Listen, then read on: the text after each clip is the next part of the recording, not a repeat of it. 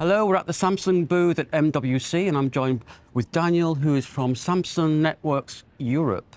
So, Daniel, can you tell me a little bit about Samsung Networks activities in Open RAN? What's, what's the latest developments? Sure. Uh, we are deploying Open RAN in the UK. Uh, it's a mass rollout targeting 2,500 sites by uh, 2027. This is done together with Vodafone. And actually, this has been made possible because we have achieved or exceeded the KPIs from the incumbent vendor which we are currently swapping.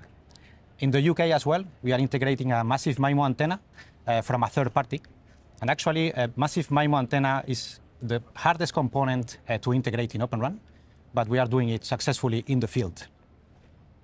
Uh, in Romania, uh, we are running several sites, uh, Open RAN with commercial traffic, and we are targeting to deploy uh, 20 cities in the near future. And in Spain, we are having this benchmark called CREATE, together with Vodafone, uh, where basically the uh, RAN vendors are compared in exactly the same radio conditions. It's considered the absolute truth in terms of radio performance. And there we're demonstrating that Open RAN can perform at the same level or even better than traditional vendors. We are not only working with, uh, with Vodafone, we're also working with other operators in Europe. Um, with Telefonica, we are expanding Open RAN in Germany, and we are also working with another tier one um, we have cooperated in their um, ORAN integration center, and we are also running some uh, Open RAN sites with commercial traffic to demonstrate that RAN sharing can work properly in an ORAN environment.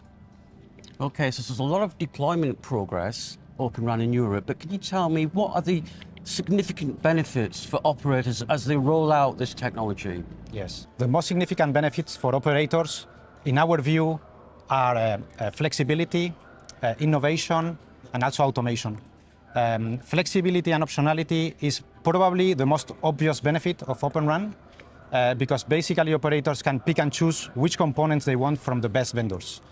Um, if an operator has a problem with a particular component, they can choose to swap it out uh, or they can choose to keep deploying with the same component or a very similar component with a different vendor.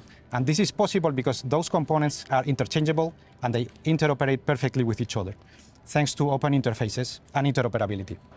Okay, and um, looking at this year, what trends do you see emerging with European operators? Yes. One trend we see uh, quite clearly is consolidation. I mean, it's all over the news. Uh, this is quite good in our view uh, because Europe is a big market, but it's quite fragmented. And uh, that's not great for operators nor vendors because it makes it more difficult to achieve uh, scale. And this is very important for our business because it allows to uh, provide good communications to end subscribers at good prices.